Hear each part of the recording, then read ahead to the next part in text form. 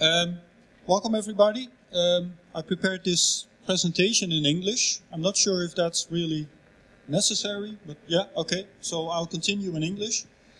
Um, welcome again. My name is Eric Sol. I will be uh, presenting you a couple of possibilities to use Drupal, a rather, rather well-known and large-scale, large-employed content management system framework.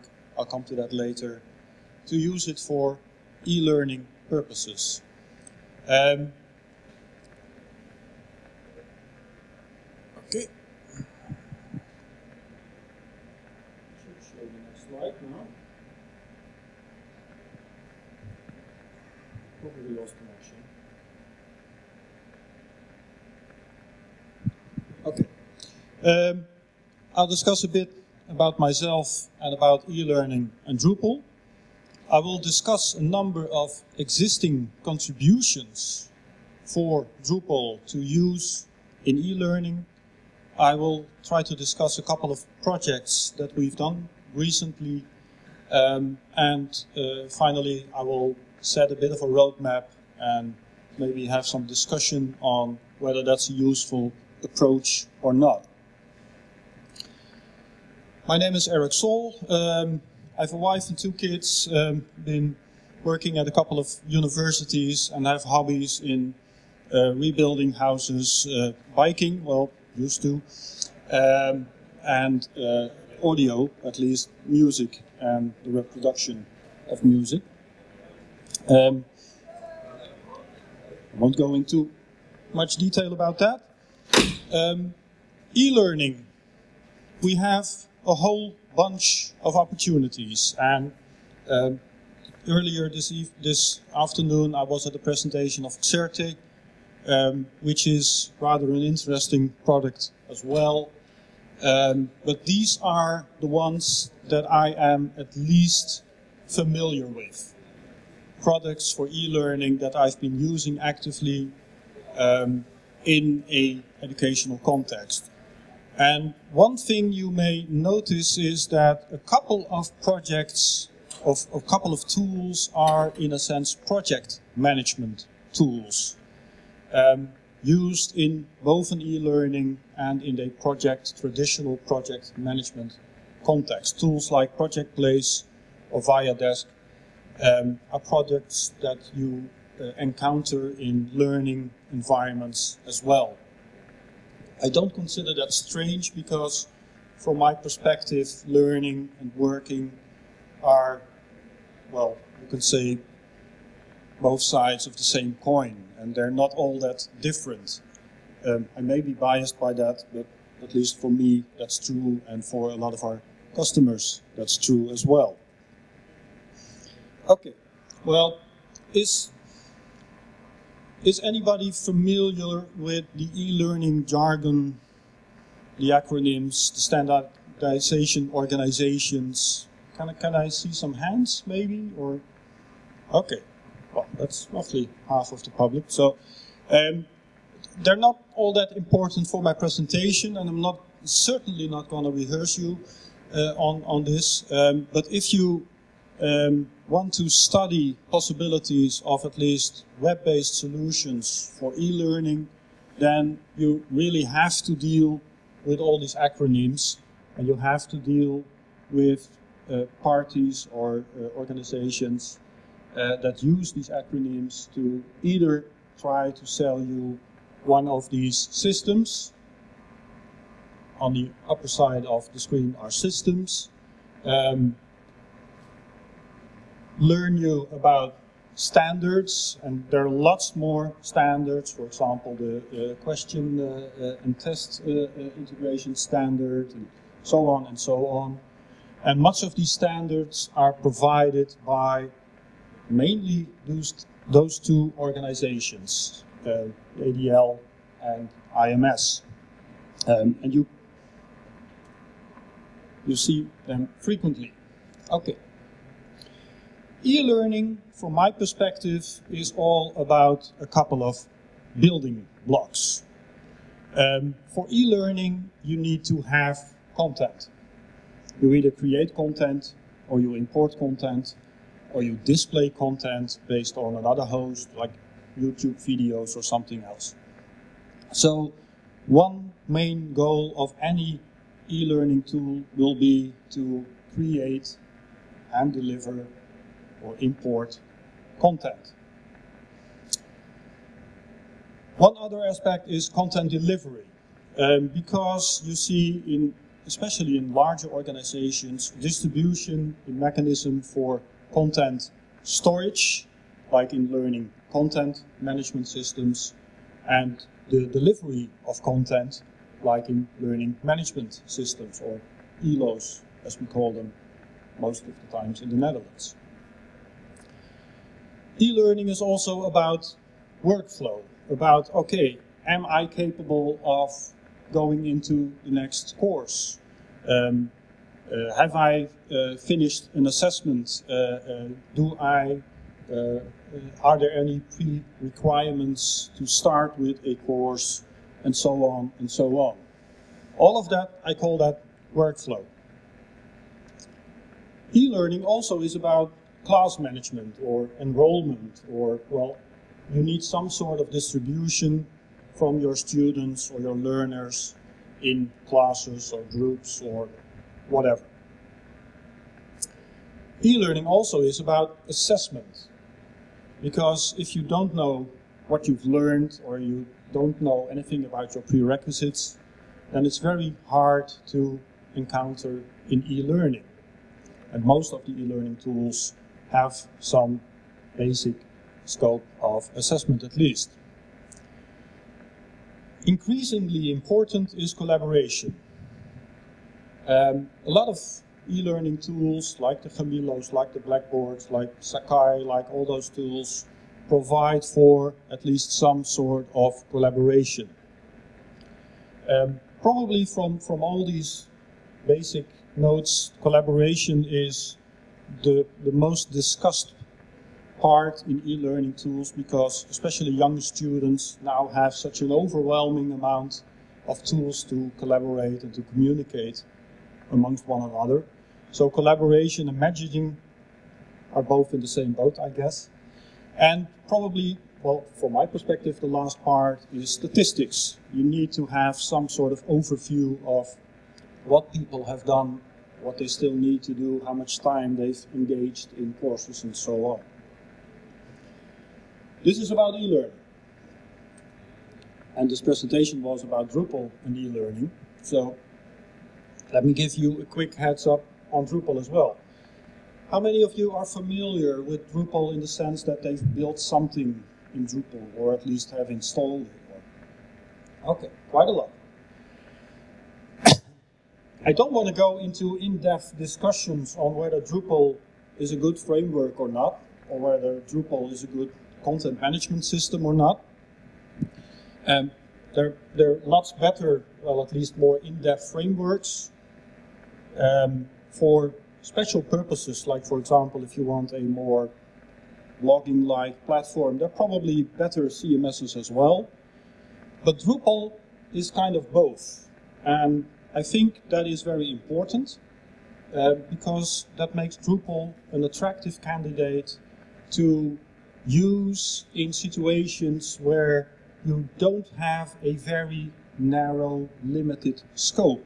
Like, for example, if you want to combine public uh, uh, delivery of content with e-learning.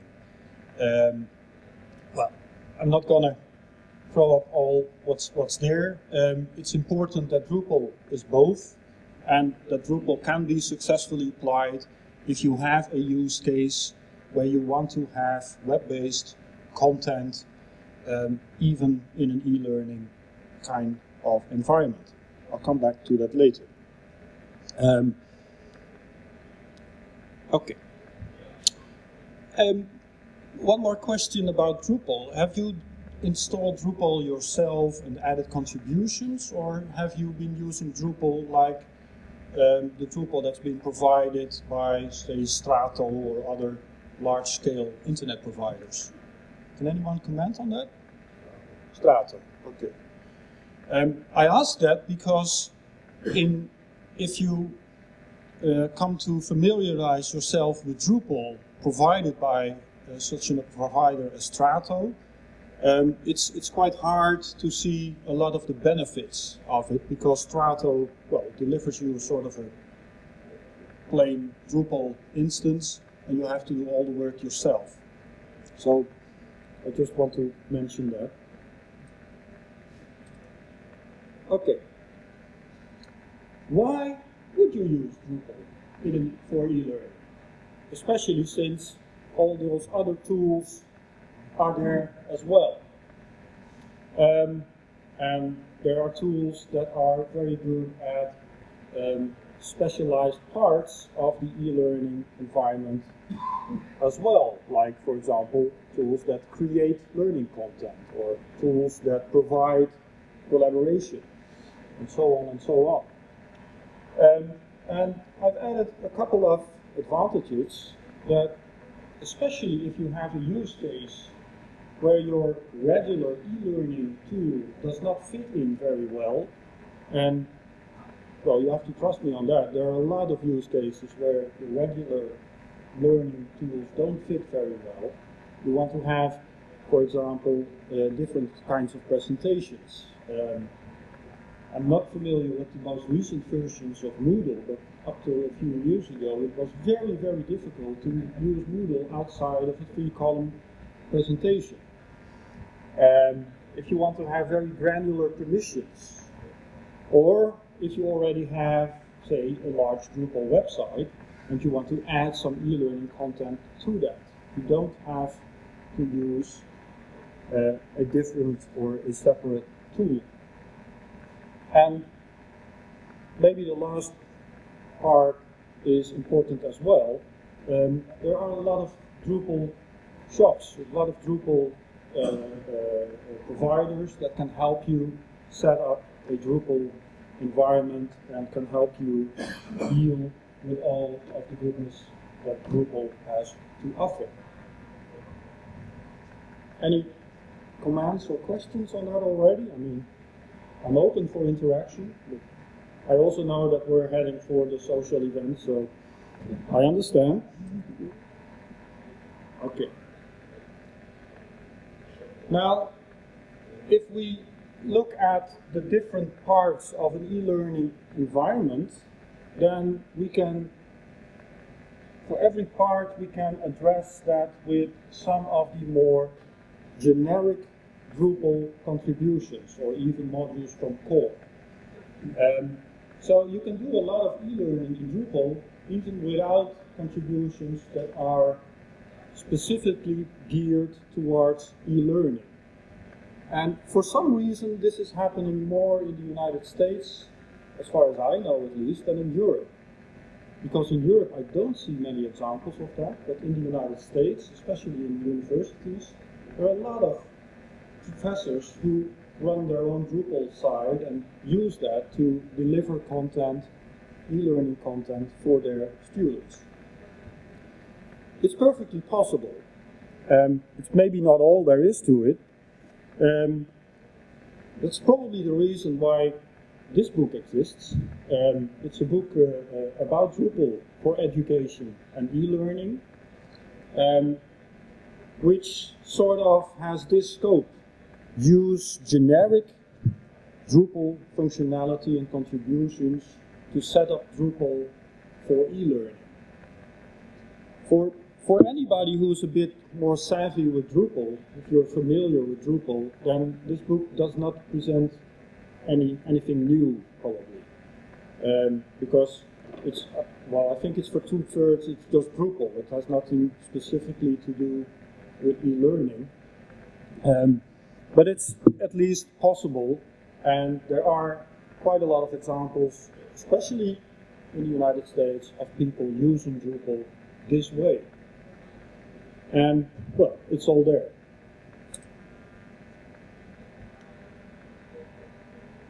I now come to discussing a couple of specialized contributions for Drupal that directly address e-learning. And I think, well, that's a well, uh, that's a name well chosen. The most uh, interesting module probably is course. Um, it's maintained by a privately owned firm. Um, it's contributed to the Drupal community. Um, I always address how big a contribution is, and uh, you have to know that from my perspective, more lines of code means in general lower quality.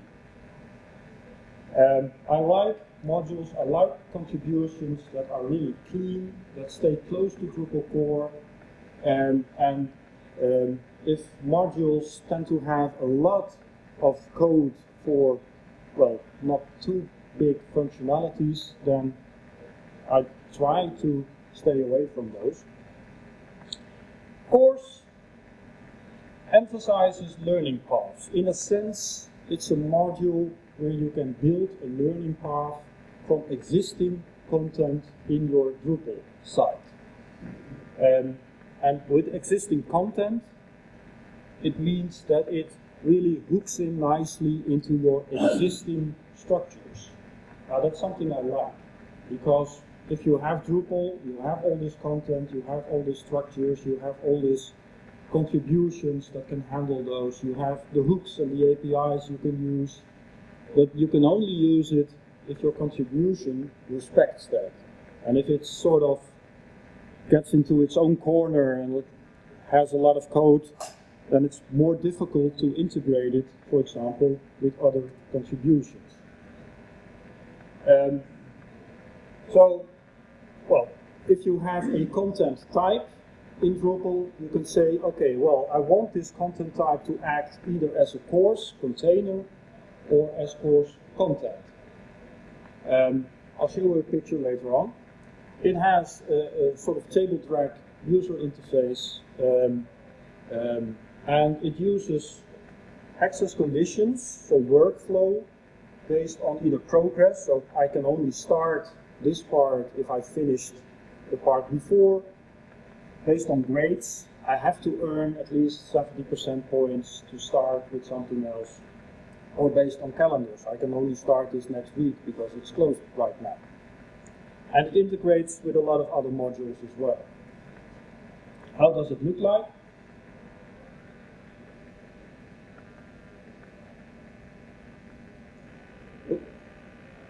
Okay. Um, it's a bit exaggerated.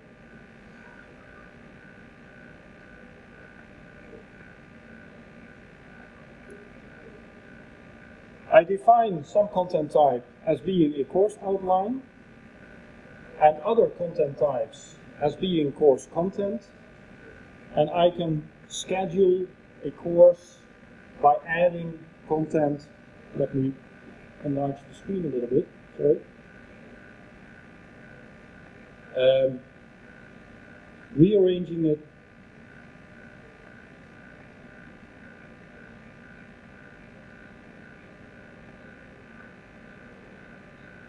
tying it to nodes, existing content, so I can easily add new nodes or tie in with other nodes.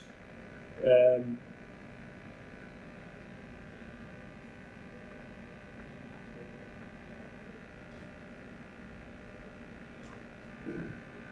it's rather clean from my point of view.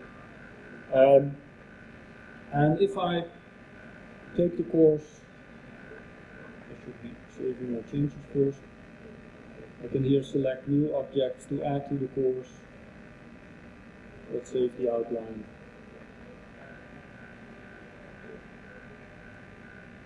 Okay. And it keeps a track record of what I've already done and what I still might be able to do or still need to do. It's very simple and, well, from my perspective, very clean functionality.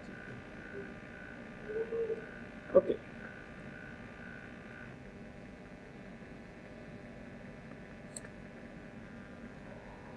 The second module I'd like to address a little bit is quiz.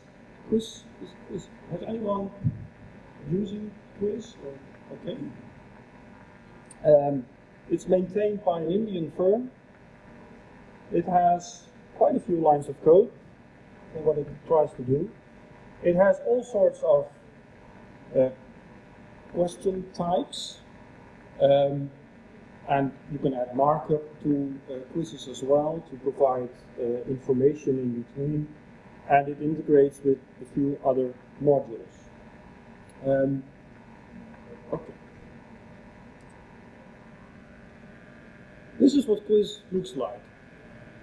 Um, this is the screen of admin content. And the first thing you might notice is that I've already done a few quizzes, but it doesn't show up in my content list because quizzes, at least when I uh, uh, engage in quiz, I don't make new content. It's sort of stored in its own world, a bit outside of the rest of Drupal. Um, it has views integration, okay for that. Um, but since it's not nodes, the integration is limited. Um, so quiz is, in fact, the probably the I don't know. Um, oh, could be. Yep.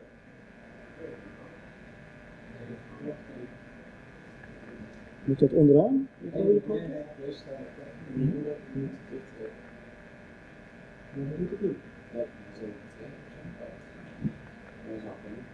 En als je meer gaat, Ja.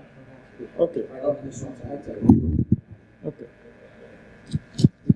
soms uittekenen. Oké. Oké. Ja, dus het onder.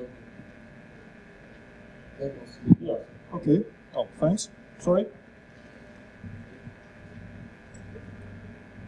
I wasn't aware of pushing wrong buttons, but okay, I might have. Um, so if I make a quiz, I sort of build my own structure outside from Drupal. Now, luckily enough, other modules integrate with quiz. For example, I can add a quiz to a course if I want to. Um, but from my experience, um, I try to use quiz for one of the projects I will uh, I will show you, um, and I couldn't find it very attractive to use because of it being too much outside of the Drupal world, so to speak. Um, if anybody wants to comment on that, you're definitely welcome. Yeah?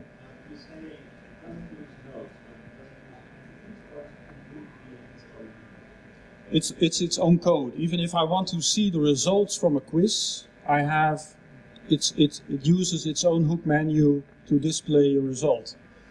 Um, and it's all there in the module code. So it's, it's pretty much away from how Drupal normally handles things.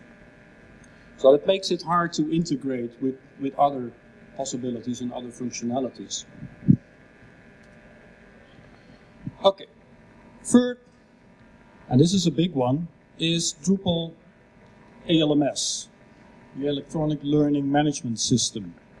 Um, it's, it's, it's a huge undertaking, mostly uh, provided by uh, Penn State University in the United States. It focuses very much on content creation and content delivery.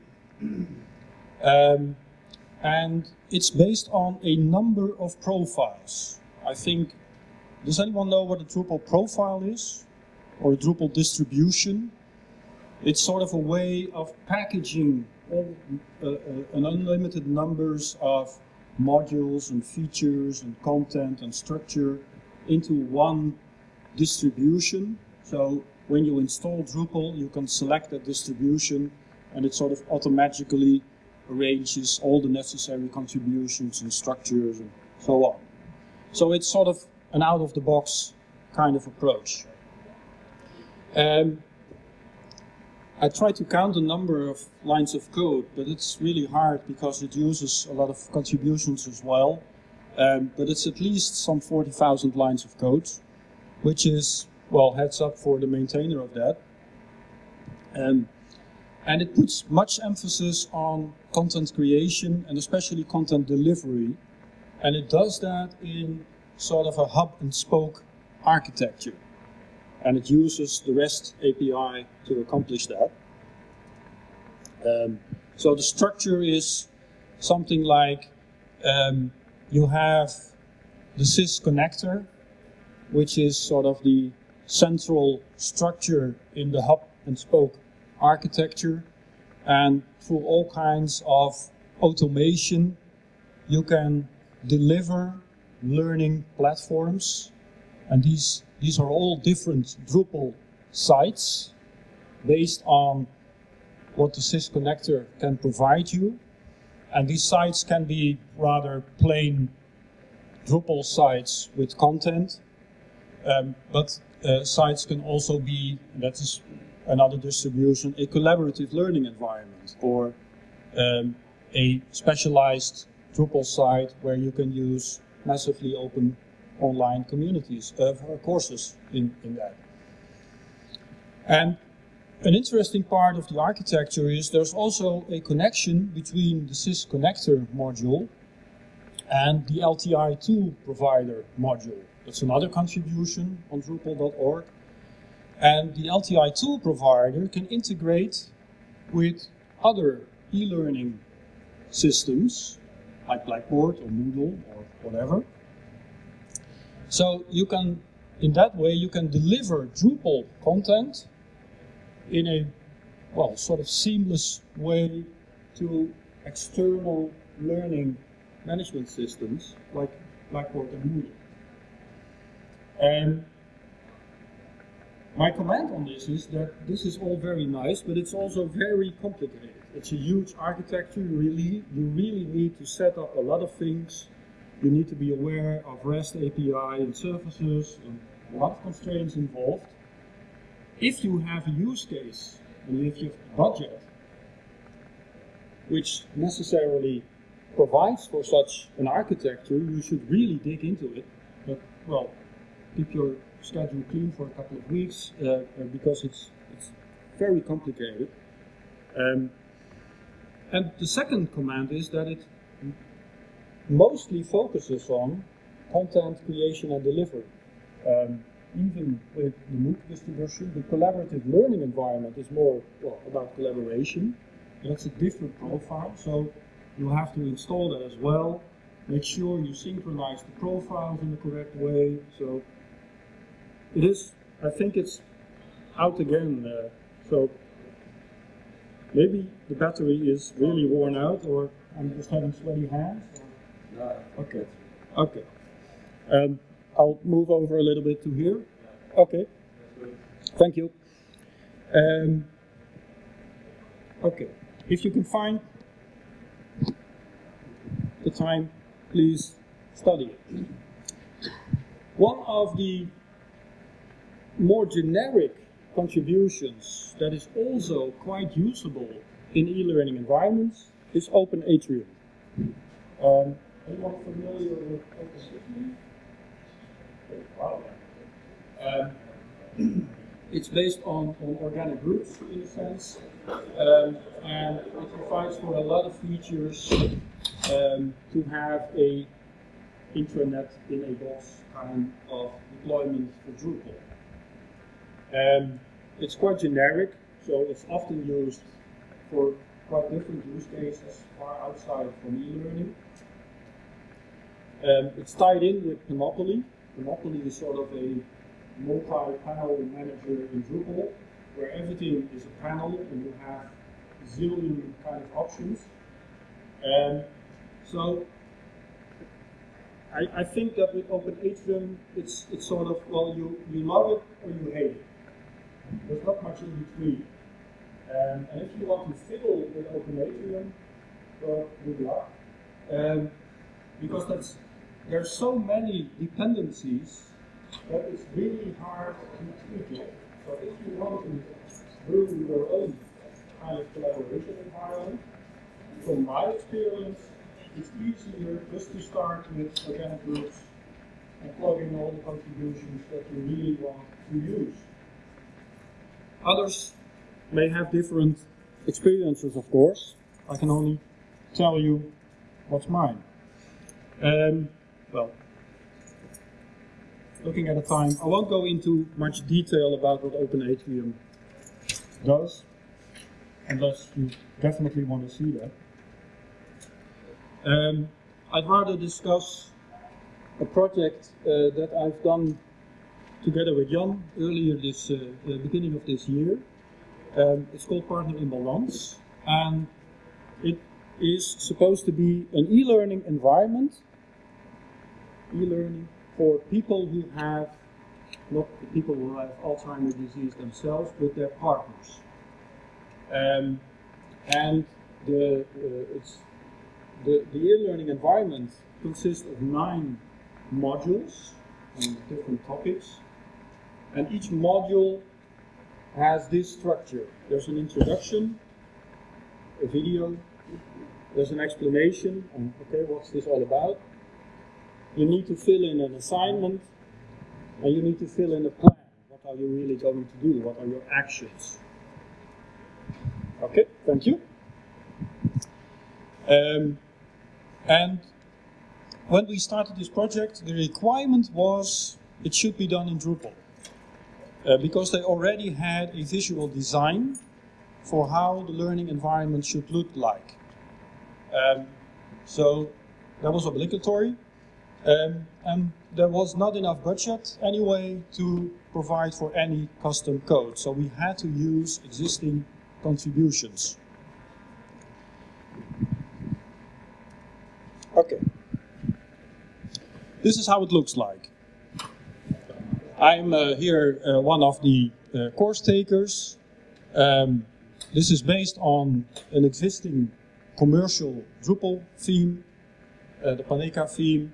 Um, this is the top of the list where I see what my modules are.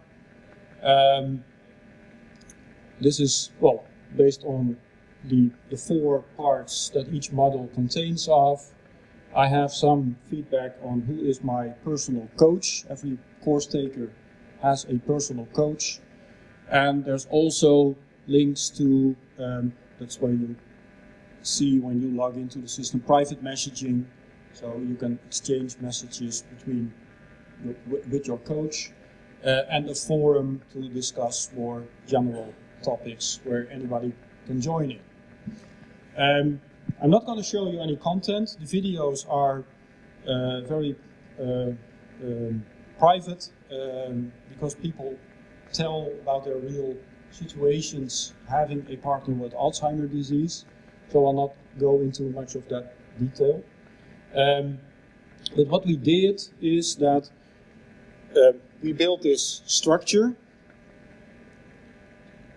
See if I can somehow sorry. Need to go back. Um, well, let me try to explain it from here on. Um, the big issue here is that although the structure of the course, I'll, I'll skip back.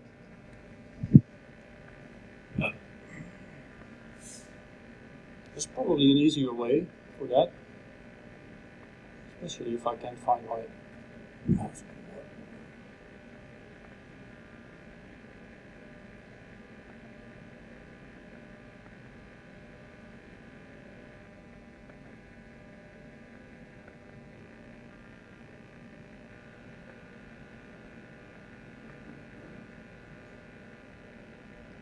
Ah, I'm the admin here. Admin doesn't have modules.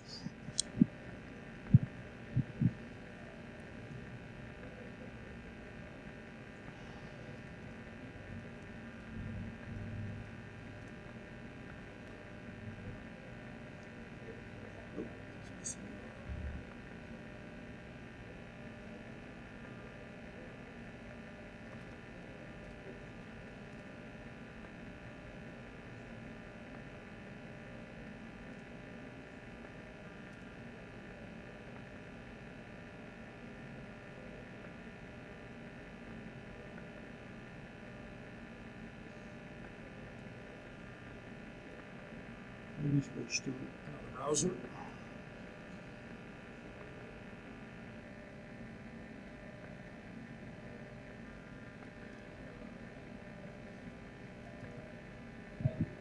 I'll change my screen to synchronize.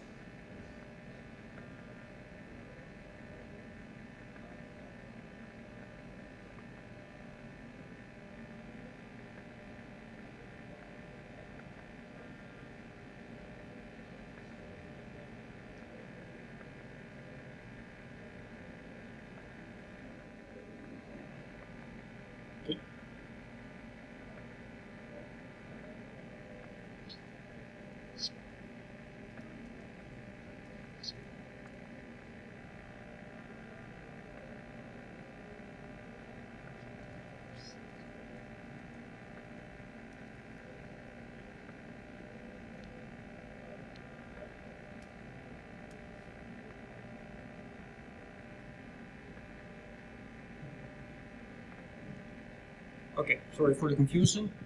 Um, here I am, deelnemer 2. Um, one of our main goals was to present this overview of modules where uh, course takers, if they still need to do something, simply click on a button and, for example,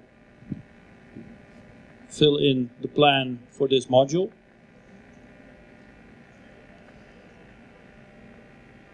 And if they've already done something, they can still click on it,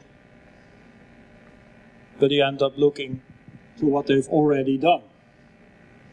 As simple as this may seem, for, for Drupal, this actually was and is quite difficult because this is a node form. Um, you actually want people to fill in data. Um, but, well, apart from the styling, for every module, the labels for the fields and the contextual information differs. Um, so what we needed to do was to think of a way of having opdrachten, which is a content type, which we can use for any number of modules, with different questions for every opdracht, with different labels, with different texts for the questions as well.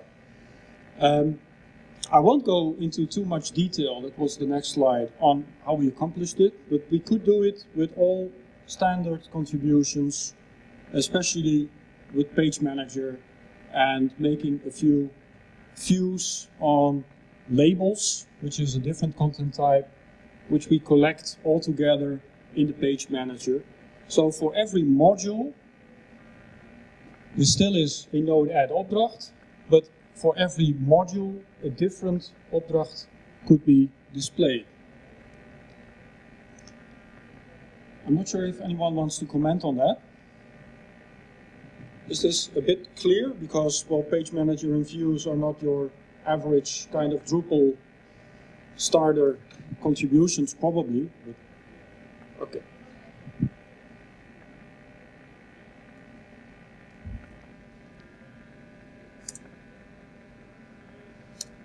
Let me skip that. The next project um, was geared towards assessments. Um, um, it's called Klik op Werk, and um, its main purpose is to provide beneficiaries, uh, people with an uitkering in, uh, in, in, Dutch, um, with self-assessments and use the results of those self-assessments to help people um, to engage in employment, in work. Um, the requirements for this were mostly set by our launching customer, which is the gemeente Goeree-Overflakkee in, in the south of Holland. Um, and we had to put a lot of emphasis on usability.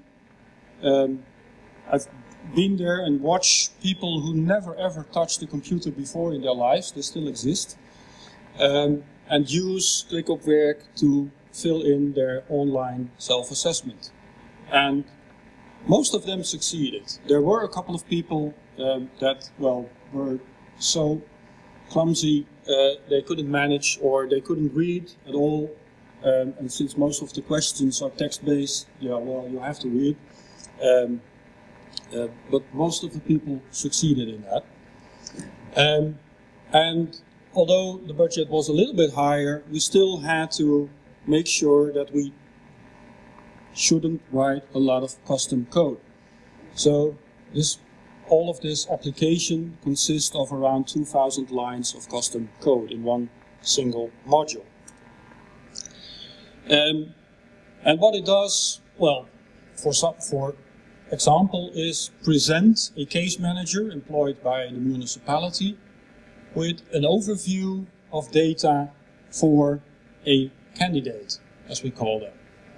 And the data addresses the scores that people have on different assignments, but also a lot of personal data.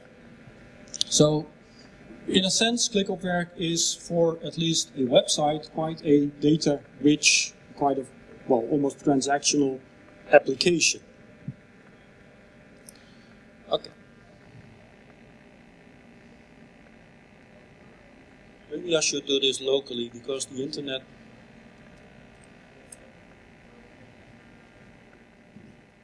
is a bit slow.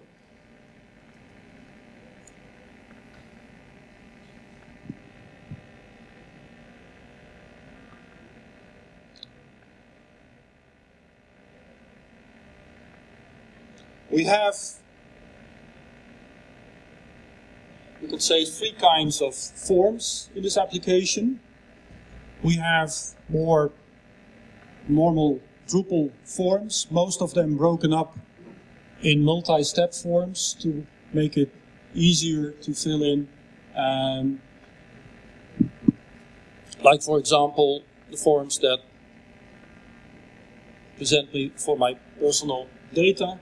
Um, we use a lot of field collections in this. Uh, because of the structure, a lot of the data is multi-value, but it's also sort of combo field-like. Um, uh, so you can fill in more details for a lot of situations. For example, um, well, if you now and a lot of form states and things like that. So nice forms, okay. Um,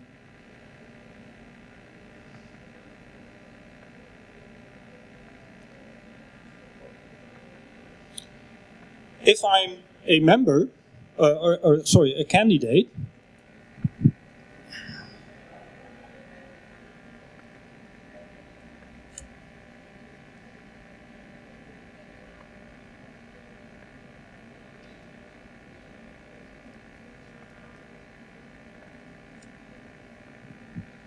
ah, should be demo, sorry.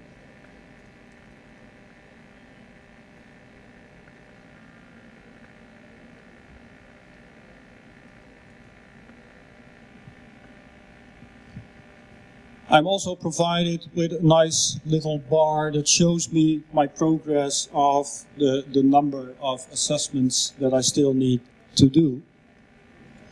Let me enlarge that a little bit as well. So for example, this assessment is based on 125 questions that are broken up into screens with five questions each, uh, and where people can uh, address these questions on a five-point Likert scale. Um, now, in the structure, and that is, for example, that is a big difference with quiz. This is a node form. So when when someone fills in this form, I have real nodes in Drupal, real data that I can use, for example, for the presentation you saw earlier. Um, and I've also addressed the topic of the Likert scale. In quiz, for every question, you have to fill in the scales for each question. Um, well, of course, you can copy and paste that, but it's all redundant data. Um, so this is based on some form alters where I have a single instance of the scale which is repeated for every question. Um, and that makes it a whole lot more uh, performant and a whole lot more efficient from my point of view. Um, and I can use all the results in a manner that fits Drupal. Um, okay,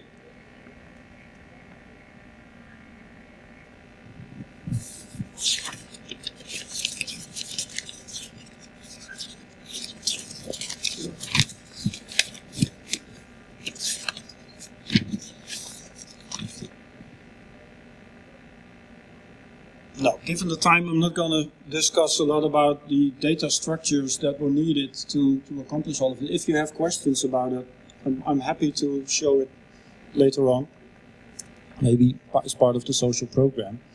Um, for now, I want to,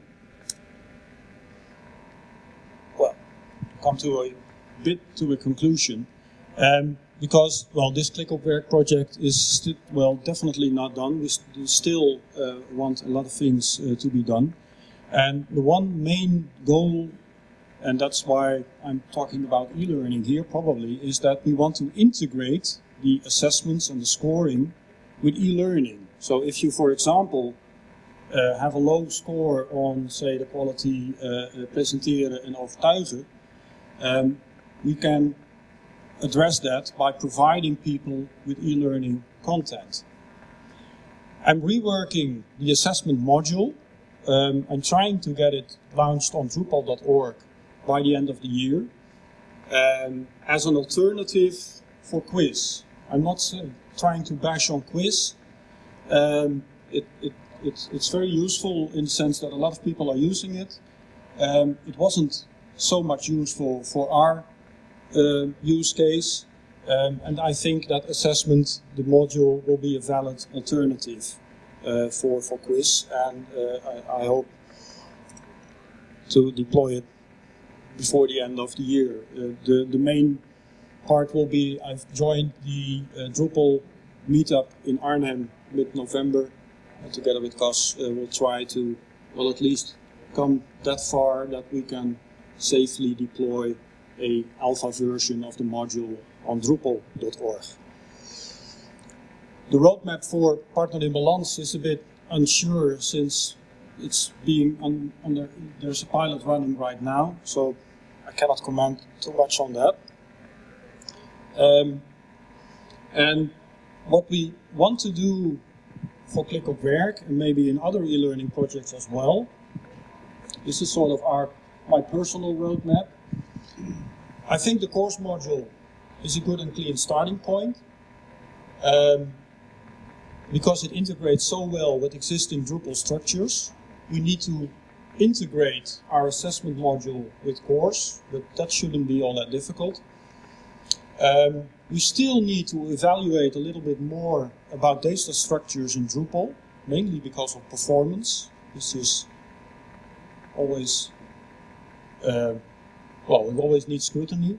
Um, and I'm especially interested, uh, uh, I have in uh, the work of Dave Reid at the moment, trying to build a multi-field module, a combo box module, you, would, you could call it. Um, and instead of using Open Atrium, we prefer organic groups and cherry pick from all the goodies that are in Open Atrium because there are a lot of goodies in there. And I think the same is true for the ELMS structure. Um, it's too complicated for us. Um, I'm focusing mainly on getting all of this in a single database. Um, well, you know, one of the earlier presentations we had uh, somebody discussing PostgreSQL databases of 500 gigabytes or more. So, well, there's enough headroom there. Um, so try to get that working for different groups, for different clients. Um, and anyone at least vaguely uh, aware of the state of Drupal right now will probably be asking, how about Drupal 8? And I can only say, okay, well, how about Drupal 8? Um, I think it will take at least two or three years before Drupal 8 and all the necessary contributions will be at the point where the Drupal 7 contributions are right now. So I, for myself, don't care too much about Drupal 8, at least not for these projects. Um, and if you want to stay tuned, then drop me a line and I'll inform you. Okay. Questions? Or are we just wanting to run for the social program? It's okay with me. Yeah.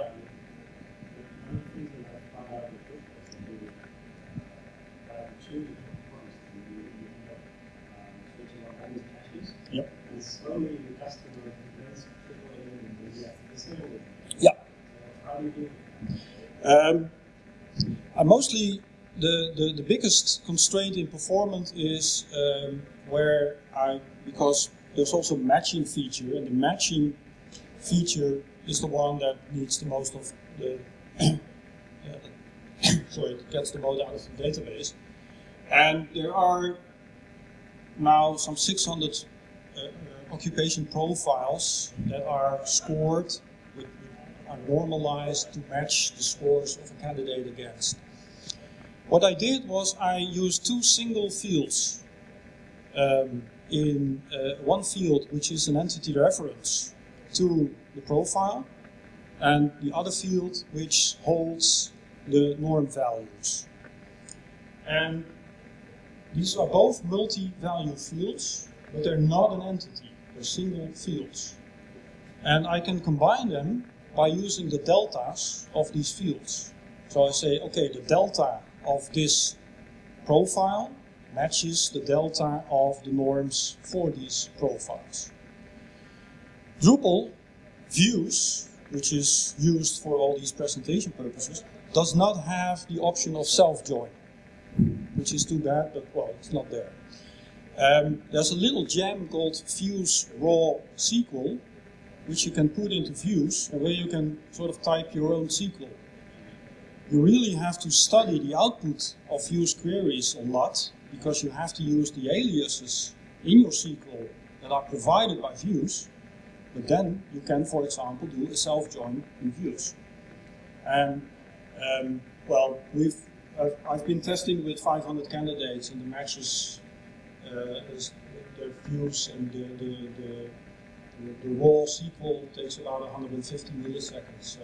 Yeah, but that's not Well, if, if you accept that page load or bootstrapping of a Drupal page in average takes about 500 milliseconds, at least for a authorized user, then there's not a real problem. If you cannot live with that, okay. But remember, these are all authenticated users. So this is not a public website where we have a large number of hits every day to handle. So, and well, nobody complained about performance. It's good enough. Any other question?